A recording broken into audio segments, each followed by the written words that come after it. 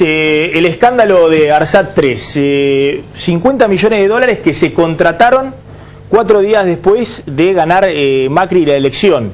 Lo contrató rápidamente eh, Cristina, cierra eh, el acuerdo con la empresa Thales de Francia para pagarle 50 millones de dólares por un ARSAT 3 que tal vez se ponga en órbita en el año 2019. Sí, y con algo que es grave, es un agravante, ahora lo vamos a ver en el informe, es muy técnico, pero para estacionar el satélite y que transmita, necesitas una banda. Hmm. ¿sí? Esta es una banda especial, la banda K. Que la, banda K, justo. Sí, que KA, sí, que la Argentina no está autorizada todavía, así que si no te autorizan y tiene que tener consentimiento de 30 países, tampoco podría transmitir. Bueno, la pregunta que se están haciendo todos es, ¿por qué cuatro días después de perder la elección en el balotaje eh, Cristina autoriza la firma de un convenio con una empresa francesa que acá no se publica, se publica en Francia, por 50 millones de dólares, siendo que eso no estaba en el presupuesto, eh, ni en el presupuesto del año 2015, ni en el que ya se había enviado y aprobado en el Congreso en el 2016. Hubo que hacer una ampliación presupuestaria para meterlo antes del 10 de diciembre que asumiera Macri. Sobre un proyecto que en el mejor de los casos, si a Argentina le dan la autorización, podría poner en órbita en el año 2019. Es decir, ¿cuál era la premura de en 10 días, en vez de esperar a que llegue Macri y vea qué hacía con eso, le firmaran 50 millones de dólares para pagarle a la empresa francesa? Y es más, y ahora lo vamos a escuchar, eh, también se pagan más de 150, casi, eh, casi 150 millones de dólares para llevar al espacio el satélite. Eh, el despegue. El despegue. Eso el año 2019, pero se pagó todo, se hizo todo eh, en estos meses, en la transición política. Sí. Mirá el informe.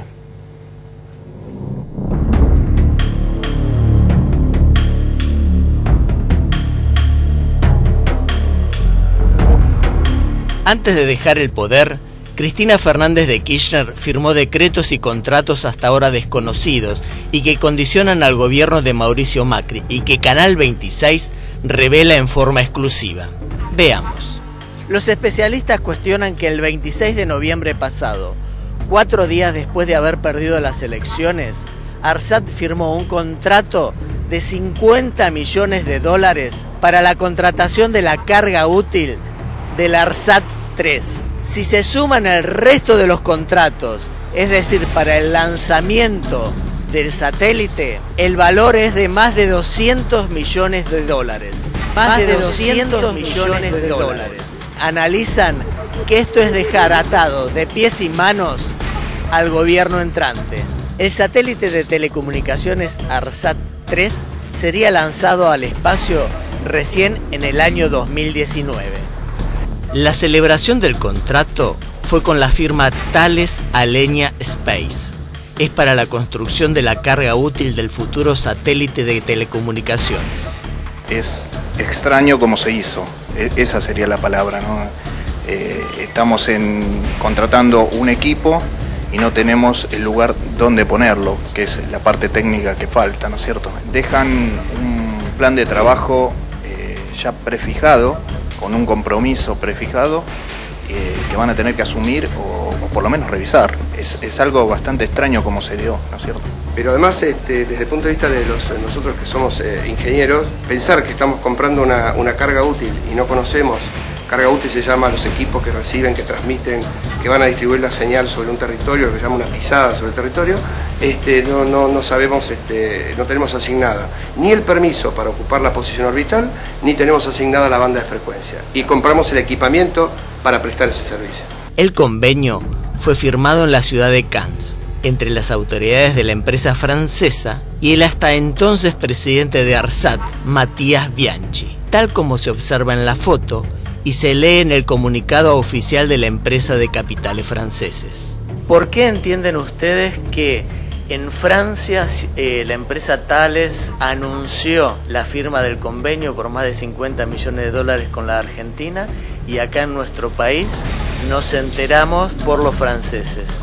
Lo que pasa es que en base a lo que venimos diciendo no es una buena propaganda hacer algo mal. Para mí desde mi punto de vista está mal hecho. De nuevo, contraté la casa, no tengo el terreno y no sé dónde va a estar el terreno. Yo ya contraté la obra.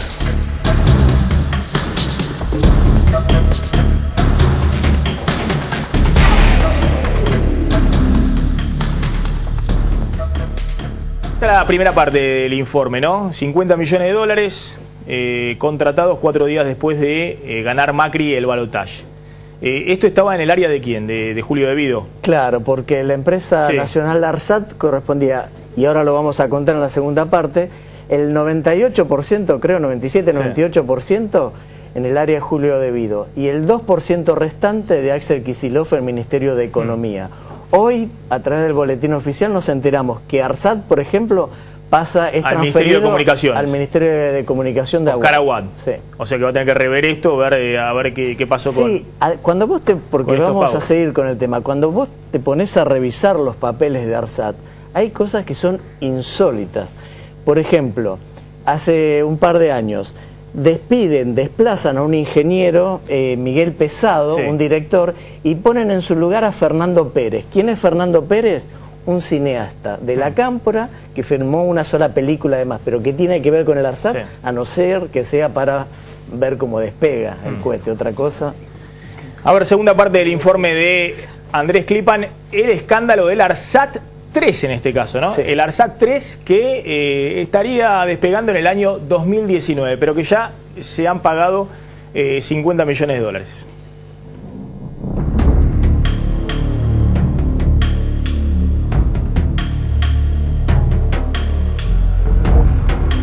La empresa ARSAT es una sociedad anónima que pertenece al Estado Nacional. El 98% de las acciones son del Ministerio de Infraestructura, que en el momento de firmar el millonario contrato estaba a cargo de Julio Devido, y el 2% restante al Ministerio de Economía, que en ese momento presidía Axel Kicillof. La firma del convenio por el ARSAT 3 fue presidida de un escándalo aún mayor. Cuando se hace la, firma del, del- del acuerdo, no, eh, ARSAT no disponía de presupuesto. ¿eh? Eh, fue una determinación que un, un presupuesto adicional de ciento y pico de millones de dólares que se adjudicó después que se firmó el contrato. Con lo cual, si esto ocurriera en una empresa privada, eh, es una severa sanción para quien tomó la medida, porque compra algo sin tener el presupuesto autorizado por los accionistas, que en este caso es el Estado, que en este caso es el Estado. Esto ocurrió el lunes 30 de noviembre, exactamente 10 días antes de dejar el poder. La ampliación del presupuesto nacional fue por 11 mil millones de pesos, que el flamante gobierno deberá saldar en marzo próximo. Lo que estamos diciendo, desde el punto de vista profesional, es que nos parece absolutamente inoportuno comprometer a una administración nueva que ingresa con una cantidad de problemas muy importante con otro problema más innecesario, que es tener un compromiso económico asumido sobre algo que no sabemos si vamos a poder este, concretar. El decreto autoriza expresamente a ARSAT a otorgar avales por 125 millones de dólares para garantizar los financiamientos para las obras de construcción del sistema satelital ARSAT 3. Es decir, que se está atando de pies y manos al nuevo gobierno. Sí, en principio sí, técnicamente es- sí. Entiendo que políticamente es incorrecto. Profesionalmente es, es irrespetuoso hacer eso, ah, comprometiendo a nuevas autoridades que van a venir. Y además no había ningún apuro, no teníamos tanta urgencia. Ya tenemos dos satélites en órbita, ya tenemos las comunicaciones cubiertas. Hay en el ámbito de las comunicaciones problemas mucho más serios que resolver 30 días antes, 90 días antes un tema satelital. Pero además de esto, resulta muy poco claro que las autoridades salientes firmen un contrato para la construcción de un satélite para dar servicios de datos de alta velocidad, internet y transmisión de televisión sin tener otorgada la banda en la que debería operar. Según el contrato que publica la, empresa francesa Thales, eh, vamos a transmitir una frecuencia que es la K. ¿La Argentina está autorizada para transmitir en esa banda? No, no tiene todavía la autorización, lo que tiene es una solicitud de pedido gestionada hace varios años. Y para autorizar esa frecuencia no es caprichoso, se hace un estudio técnico eh, que se llama de coordinación de frecuencias, donde se coordinan las frecuencias de todos los sistemas satelitales con todos los sistemas terrestres que escuchan esas estaciones satelitales. Con lo cual no es ni sencillo ni complejo, sino que es largo, tedioso y puede resultar un no, como en muchísimos casos, digamos. No te puedo dar esa frecuencia porque produce una determinada interferencia contra estación. O sea, tenemos cero certeza, solamente hemos ido a pedir. Si la UIT, no autoriza a la Argentina a transmitir en esa frecuencia.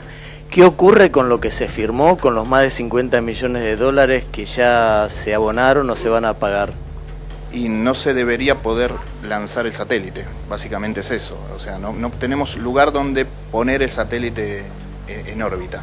No, no hay el estacionamiento para el auto, se puede decir. Esta última contratación hecha a horas del cambio de las autoridades no está publicada, ni por ARSAT, ni comunicada por TELAN, ni comunicada por nadie. Y para completar lo que decía Héctor, lo que puede ocurrir es que tengamos un problema eh, comercial serio si es que volvemos atrás un contrato por la incapacidad que tenemos de haber conseguido o no la frecuencia.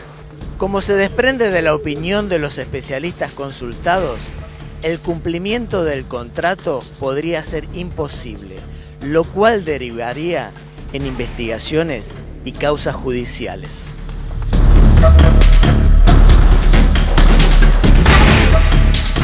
Bueno, ahí está Andrés, eh, muy buena investigación, vamos a seguir con el tema, eh, porque tenés también eh, algunas fiestas en ARSAT y otras cosas que han ocurrido en el directorio que generado mucha polémica dentro del directorio de ARSAT. Increíble las contrataciones para fiestas que se hicieron o no se hicieron, pero es mucho ha sido un desarrollo tecnológico, ha sido un desarrollo tecnológico importante en la Argentina. Sí.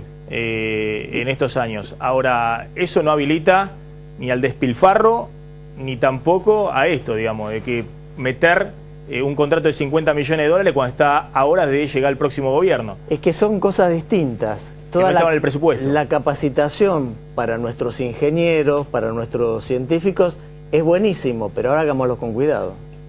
Maximiliano. Eh, Paula Bertol. Claramente eh, uno cuando escucha un informe como este está pensando que atrás de, esto existe un gran negocio, digo, la práctica maliciosa de firmar días antes de irse o de llegar una nueva administración está clara, pero también le queremos decir a muchos de los que nos están escuchando que vamos a auditar todo lo que presente dudas. Y, posiblemente nos vamos a encontrar no solo en este caso, sino en muchos otros casos con que eh, se han comprometido los fondos públicos que en realidad en vez de llegar a la gente, a los que menos tienen, ayuda a parar a los bolsillos de algunos funcionarios públicos que honestamente no me queda otra palabra más que decir que han sido delincuentes desde el momento que han firmado eh, de manera espuria este tipo de, contrataciones eh, a días de irse. Andrés, gracias. No, al contrario. revelado.